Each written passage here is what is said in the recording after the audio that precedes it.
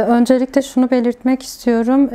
Evet güzel bir sürece girdik aslında. Biz öyle yorumluyoruz. Çünkü bu sefer halkın iradesi konuşacak.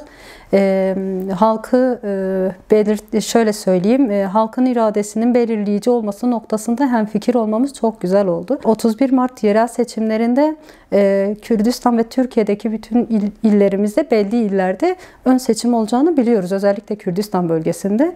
Bu doğrultuda ayın 13'ü ile 14'ü arasında ön seçime gidiyoruz. Biz başvurularımızı ayın 25'inden sonra almadık artık. Yani 25'inden 25'ine kadar uzatılan tarihe kadar başvurularımızı aldık. Ee, çok güzel yoğunluklarla karşılaştık. Özellikle kadın boyutuyla e, gerçekten cevap olabilecek e, halka cevap olabilecek yeterlilik noktasında güzel bir sayıya ulaştık. E, 13 ile 14'ü arasında ön seçime gidiyoruz. E, halkın kendi e, seçilmişini bel belirleyici olması noktasında e, güzel bir sistem oldu. İl ve ilçe yönetimlerine e, delege, delegasyon listelerimizi gönderdik. Askıya asılacak bugün. Delegelerimizde işte daha önce yer almış, yönetimlerimizde yer almış, sandık görevlerimizden tutun mahalle komisyondaki bütün arkadaşlar herkes yer alacak. Delege listelerimiz hazır. Askıya verildi. İl ve ilçe yönetimlerinde askıya belirlenecek. Delegasyonlarımız gidip kendi TC kimlik numaralarından tutun kendi ikametgah adreslerine kadar kontrol edecek. E, belirleyici ol, noktasında da ayın 13 ile dediğim gibi tekrar belirtiyorum 13 ve 14'ün 14'ünde e, kuracağımız sandıklarla birlikte e, oylarını kullanacaklar.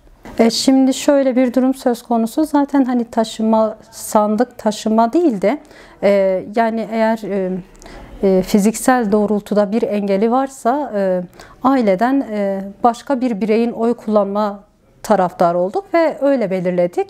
E, bu ön çalışmaydı zaten. Biz onu da netleştirdik. İşte evde fiziksel engeli var. Delegasyon kendisi gelemiyor ama aile bireylerinden biri birinci dereceden e, olanı kendi e, delegasyonumuz olarak listeye not aldık.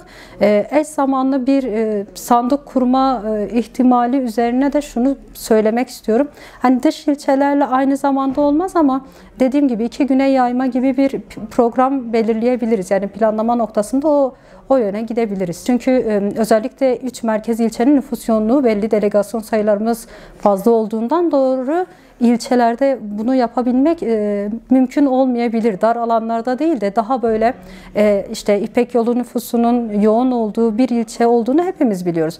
Ha ne yapılabilir? E, ya bir e, konferans salonu, düğün, düğün salonlarından biriyle birlikte birkaç tane sandık kurulabilir bu doğrultuda hareket edilir diye düşünüyoruz. Biz e, halk ta, halkla birlikte bir yol alıyorsak e, belediyelerimizdeki e, işte e, tavan tabandan tavana bir e, hizmet söz konusuysa bizim burada esas almamız gereken halkın iradesidir zaten. Evet şeffaf, evet dürüst, evet e, demokratik bir yönetim istiyorsak bu doğrultuda en en en belirleyici noktasında halktır.